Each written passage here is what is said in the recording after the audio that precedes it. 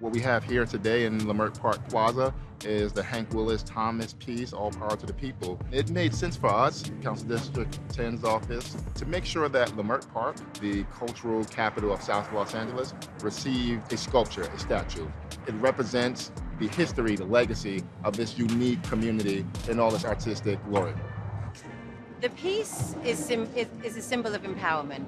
Um, it, it, it signifies black joy, black pride, the power of our culture. It's an iconic symbol, the Afro pick, and it means a lot of things to a variety of audiences.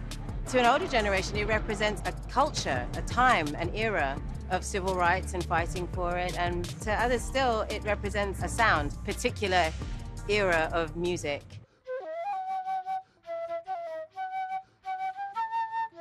Well, art is very important because art gives you imagination to move forward and make yourself a better person in life because art is one of the greatest things in the world and we need that.